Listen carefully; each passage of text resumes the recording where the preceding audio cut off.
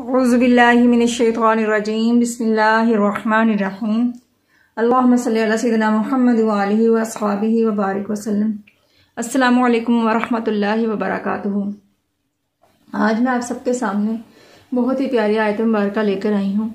सूरतलाजाब से रुकू नंबर पाँच से आयत नंबर चालीस का लफ्ज़ बा मुहावरा तर्जमा।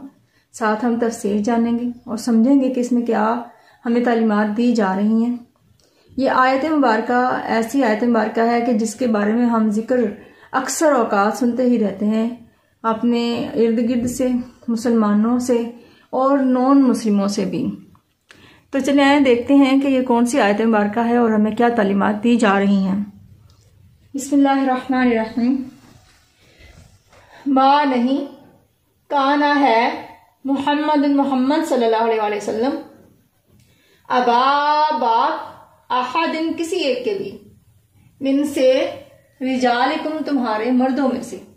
वलाकिन और बल्कि रसूल अल्लाह अल्लाह के रसूल हैं, वह खातमा और मोहर हैं या ख़त्म करने वाले हैं नबीना नबियों के सिलसिले को।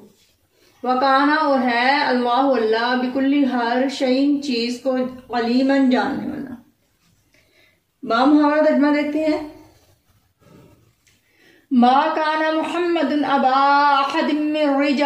वलाकिन रसूलुल्लाहि व खातबन नबिय्यीन व कान अल्लाहु बिकुल्लि शैइन अलीमा। मोहम्मद सल्लल्लाहु अलैहि वसल्लम तुम्हारे मर्दों में से किसी के बाप नहीं है, बल्कि अल्लाह के रसूल और नबियों की मोहर, यानी नबूवत के सिलसिले के आखिरी नबी हैं, और अल्लाह हर चीज़ से वाकिफ है। अब हम देखते हैं कि सायत मुबारक में हमें क्या तालीम दी जा रही है? तफसीर से और अहदीस से। यानी कुरान में तो अल्लाह ताला ने वाजे फरमा दिया कि आप सल्लल्लाहु अलैहि वसल्लम हमारे मर्दों में से किसी के बाप नहीं है। ये इसलिए कहा गया क्योंकि आप सल्लल्लाहु अलैहि वसल्लम के जो अपने हकीकी बेटे थे, वो बचपन में ही वफात फरमा गए और रिजाल यानी मर्दों की उम्र तक वो पहुँचे ही नहीं। और लोग जो थे वो हज़रत जैद बिन हारिसा रदी अनहु को नबी सल्लल्लाहु अलैहि वसल्लम का बेटा कहा करते थे। वो इसलिए कि आप सल्लल्लाहु अलैहि वसल्लम ने उनकी परवरिश फरमाई थी। ले पालक थे आपके वो। लेकिन अल्लाह ताला ने वाजे फरमा दिया कि आप किसी मर्दों के बाप नहीं हैं, बल्कि अल्लाह के रसूल और आखिरी नबी हैं। इसी तरह से हमें क्या पता चला इस बात से कि आयत मुबारक के इस हिस्से में जो ख़ातम नबीन है, इसमें फरमाया जा रहा है कि मोहम्मद सल्लल्लाहु अलैहि वसल्लम आखिरी नबी हैं। क्या अब आप सल्लल्लाहु अलैहि वसल्लम के बाद कोई नबी नहीं आएगा? और नबूवत आप सल्लल्लाहु अलैहि वसल्लम पर ख़त्म हो गई है।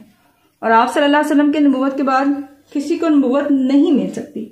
हती कि जब हज़रत सलाम नाजिम होंगे तो अगरचा नबूवत पहले से ही वो पा चुके हैं, मगर नाजिल किए जाने के बाद नबी करीम सल्लल्लाहु अलैहि वसल्लम की शरीयत पर अमल पैरा होंगे। और इसी शरीयत पर हुक्म करेंगे। और अपने आप ही के किबला यानी काबा मौजमा की तरफ़ नमाज़ पढ़ेंगे।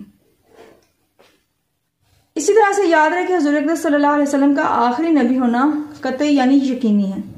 यह कतियत कुरान हदीस और रजमाए उम्मत से साबित है। कुरान मजीद की वाज आयत मुबारक मौजूद है, जो हम हमने अभी अभी पढ़ी है। और इसी तरह से अहादीस जो है, वो तवातर की हद तक पहुँच चुकी हैं। और उम्मत का इजमा भी इसी बात पर है। या लिहाजा इन सबसे साबित होता है कि हजूर सल्लल्लाहु अलैहि वसल्लम सबसे आखिरी नबी हैं। आपके बाद कोई नबी नहीं होने वाला, जो हजूर अनवर की नबूवत के बाद किसी और को नबूवत मिलना मुमकिन जाने, वो ख़त्म नबूवत का मुनकर, काफर और इस्लाम से खारिज है। इस बारे में सुनन अबू दाऊद की एक हदीस है। फैज़ सुबान रदी अल्लाह से मरवी है कि रसूल करीम सल्लल्लाहु अलैहि वसल्लम ने इरशाद फरमाया बेशक अल्लाह इज़्ज़ल ने मेरे लिए तमाम रुए ज़मीन को लपेट दिया और मैंने इसके मशारिक और मगारिब को देख लिया। और इस हदीस के आखिरी हिस्से में शाद फरमाया कि अन करीब मेरी उम्मत में तीस कजाब होंगे। इनमें से हर एक ये ख्याल करेगा कि वो नबी है। हालाँकि मैं ख़ातमनबीन हूँ और मेरे बाद कोई नबी नहीं है। ये सुनन अबी दाव, अबू दाऊद की हदीस है।